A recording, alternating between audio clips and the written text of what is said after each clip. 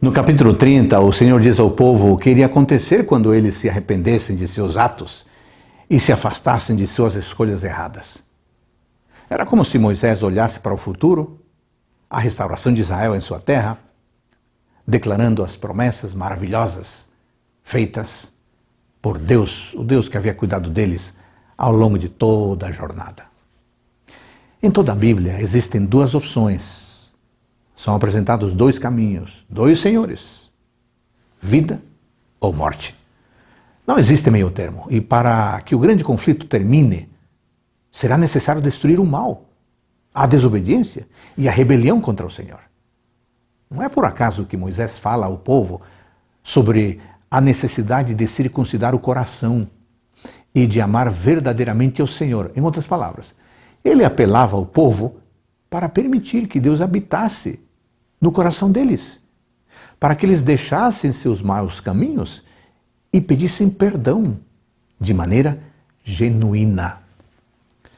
Pelo privilégio de termos sido criados à imagem e à semelhança de Deus, temos a capacidade de raciocinar, de escolher. Nos capítulos anteriores, o povo havia acabado de ouvir as bênçãos e maldições e estavam prestes a fazer uma escolha então, Moisés garante ao povo que seguir o que o Senhor desejava não era difícil. O mandamento estava aí, ao alcance das pessoas. Essa ênfase na questão da escolha está relacionada ao fato ao fator principal da aliança entre o Senhor e Israel, que é a adoração. Deus queria muito mais que um sim por parte de Israel. Ele os convidava a amá-lo Será que poderia ser difícil amar de todo o coração aquele que lhes deu a vida? Ao amar ao Senhor, o povo entenderia o propósito da lei divina. Afinal, a lei é o amor. Não podemos ter um coração dividido, mas precisamos oferecer a Deus por completo todos os nossos pensamentos, todos os nossos talentos. Moisés encerra o seu discurso provocando, convocando toda a criação para testemunhar a grande oportunidade que Deus estava concedendo a Israel. Aceitar a aliança e desfrutar de suas bênçãos.